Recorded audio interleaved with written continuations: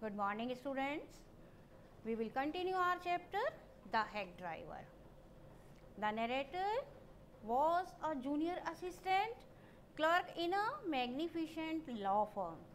His job was not to prepare legal briefs but to serve summons. He was fed up with his job as he has to visit many dirty and shadowy corners of the city. He was sent to New Mullion, a country town about 40 miles away from his city. The narrator was highly gullible. He did not behave like a seasoned legal mind. He was so much impressed with Bill that he became totally dependent on him. He failed to keep his mission a secret by disclosing that he had come to serve summons on Oliver Lutkins.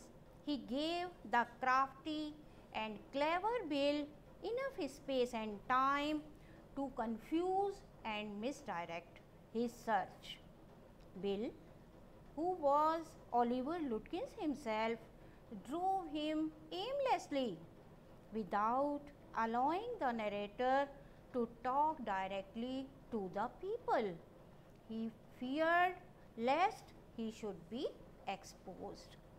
I know that Bill's helpfulness to the young fellow from the city was not entirely a matter of brotherly love. I was paying him for his time.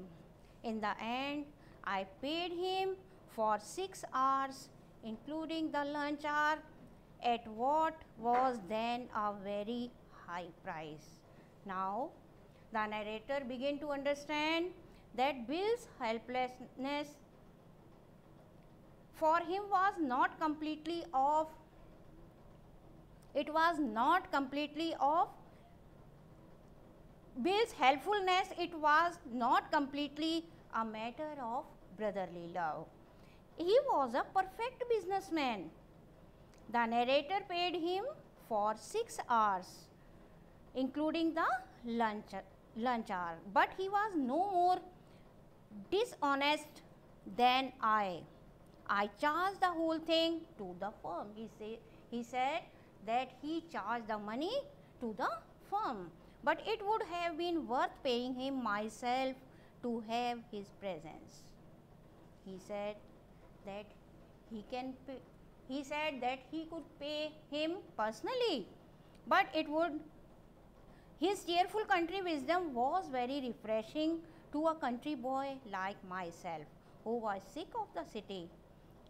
As we sat on the hilltop looking over the pastures and creek which slept among the trees. He talked of New Mullion and painted a picture in words of all people in it.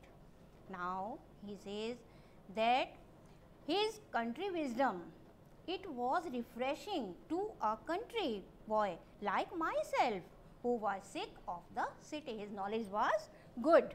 As we sat on to the hilltop to enjoy the lunch, looking over the pastures, and creek which slept among the trees, the river which slept among the trees. He talked of New Mullion. He, he told me about the place and painted a picture in words of all people in it. He noticed everything, but no matter how much he might laugh at people, he also understood and forgave their foolishness. He described the minister's wife who sang the loudest in church when she was most in debt. Now, he says he noticed everything. He laughed at people.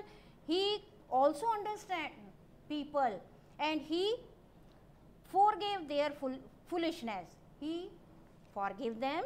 He described the minister's wife who sang loudly in the church at, at the time when she was most in debt. He commented on the boys who came back from college in fancy clothes Again, he commented on the boys, those boys who came back from college in fancy clothes. He told about the lawyer whose wife would never succeed in getting him to put on both a collar and a tie on the same day. He also told about the lawyer whose wife she would never succeed in getting him to put to put on both a collar and a tie on the same day. He made them all live. He gave the lively description of all these things. On that day, I came to know New Mullion better than I did the city. On that day, I came to know New Mullion, a place where I was and to love it better. And after knowing about this place, I began to love this place. So, this place was beautiful. Now, we will discuss the questions based on extract. And our extract is, he was so open to was real. And our first question is, who is he in these lines?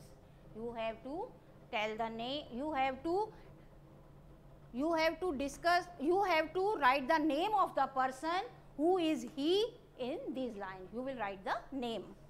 Give an instance of his kindness. So, you will give the instance, you will give an instance of his kindness.